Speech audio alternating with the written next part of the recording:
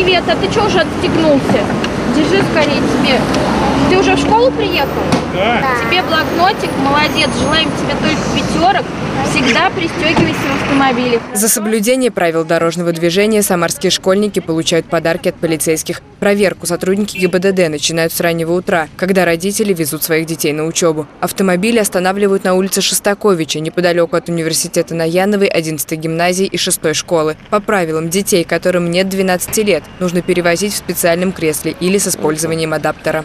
Ну, вы видите, что она уже большая. И какое? Ну, а ей с устройством будет неудобно ездить. Почему? Ну, она потому что не 12, но она в 140 сантиметров. Ну что?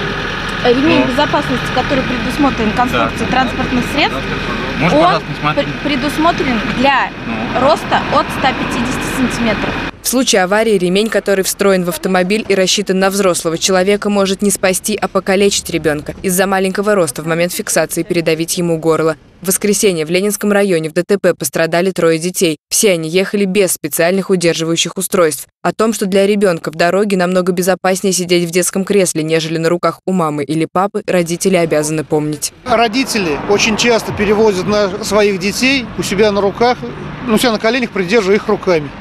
Э, Это подвер- под- чем самым подвергает своих детей еще большему риску.